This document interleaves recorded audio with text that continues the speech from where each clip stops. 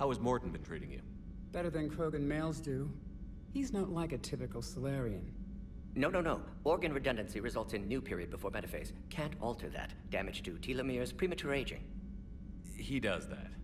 But I sense pain in him too. He told me about his work on the genophage. I should consider him an enemy. Yet I think seeing my sisters and I changed something in him. Asari Vorcha offspring have an allergy to dairy and...